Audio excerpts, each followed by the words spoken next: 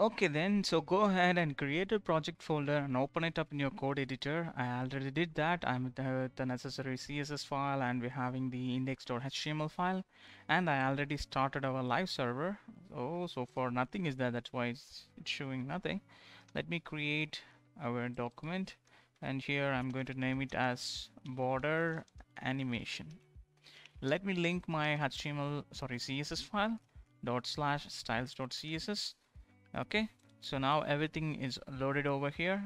All we have to do create an empty div inside your body tag. Then for all the element we are removing the margin and padding as zero. And border box uh, not this box sizing border box. Okay for the body tag what I'm going to do is I'm fixing the minimum height as 100 VH and I'm going to give a background color as 181818 so look at that.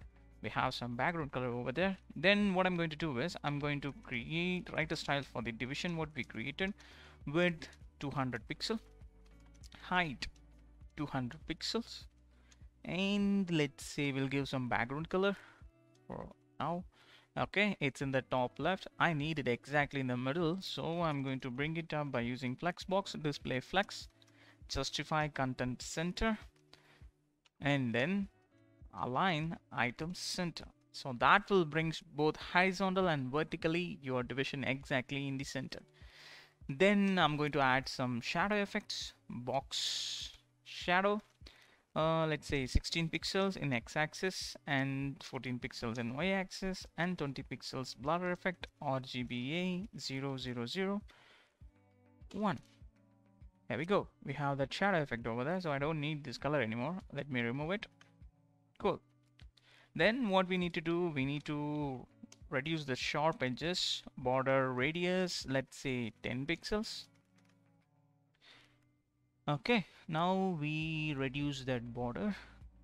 After this, what we need to do is we need to make this position as a relative position because why we are making its relative position is we are going to add a before and after pseudo element for this division. If you fail to make it as a position relative, it will take the parent element as the body tag. So the division after and before element should not refer to the body tag. It should always refer to its parent element as the division. Okay, now let's create the division before element first, before. Okay, absolutely we don't need any content inside so content nothing. Then position as an absolute position only absolute. Okay? Where this going to take 100 percentage? Height also 100 percentage. That means it's parent element height. Okay? Then I'm going to add some background um, linear gradient so I'm going to use the background image. In the background image you can see we have the conic conic conic gradient. Conic gradient. Open it. C O N I C. C O N I C. Don't misspell it. C O N I C hyphen gradient. Okay.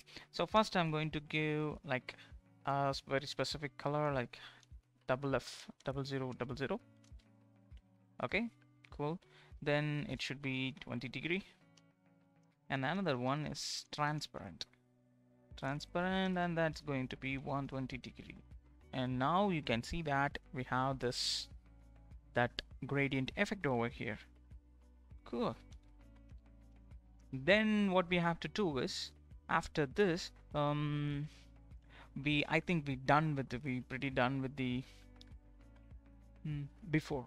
Okay. So now let's go for the after element. So we have to create div colon after. Open it. So in the after what we are going to do is we are going to create an exact square right over the top of it. So this is the content is going to have as a term animation animation on it and weight I'm going to make it as 190 pixels. Height I'm going to make it as 190 pixels. And after this I'm going to give the background color as background as hash 101010 save the changes. Okay so it's still taking the width like this only because why? Ah, okay position absolute. There we go now you can see that it's having that nice box shape over there but we'll reduce the border radius to 10 pixels just like as it is. Okay we need to bring it exactly center. So what I need to do is I will mm, I'll write the styles over here. Display flex justify content center align the item center. Boom that brings your content exactly to the center of it. I think it's overflowing. So what we need to do is to this division we will add the overflow as hidden. Overflow hidden. Why I'm saying is because see the sharp, you can see that still that sharp edge because it's overflowing. So overflow hidden. Now you can't see that overflow.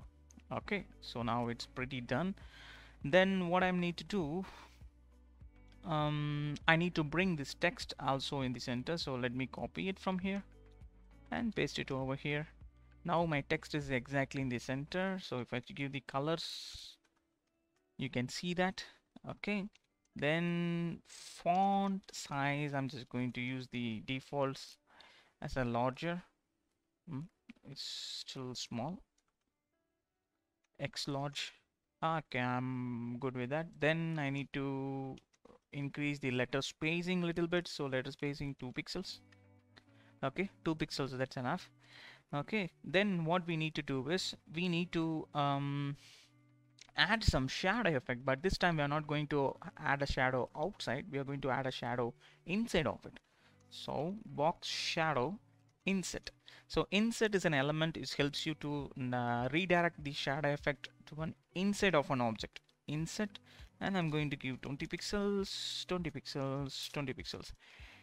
X-axis y-axis and the blur effect. Okay here you need to give the color code. Okay I'm going to use the same color code what I used over there RGBA okay now we can see that it's having that nice inset shadow effect over there. I think it's pretty good now right? Then all we have to do is just to animate it.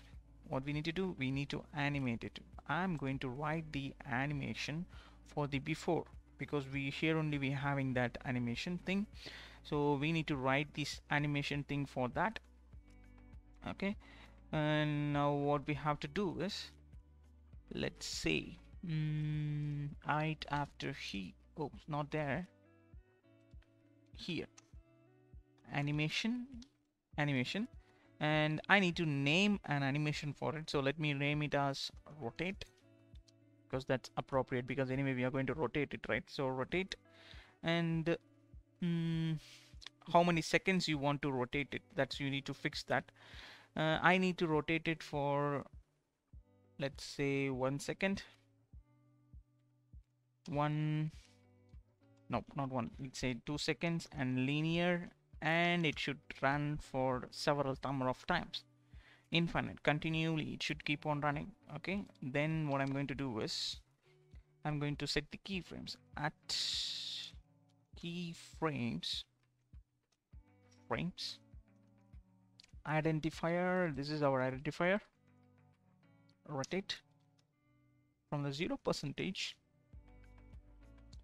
It should transform. Rotate from 0 degree to 100 percentage it should transform rotate 360 degree. Now you can see that it's rotating like this. Now what we have to do is you need to rotate it in a reverse direction minus 360 degree. Okay cool. So we can solve this. So what you need to do is just increase this percentage level 150 to 150 and now you can see that it gives you a clear animation effect. I hope you guys enjoyed this video. If you enjoyed this video leave a like. And if you have any doubts leave your doubts in the comment box. I'll reply you back. And have a great day guys. I'll see you in the next video. Bye bye take care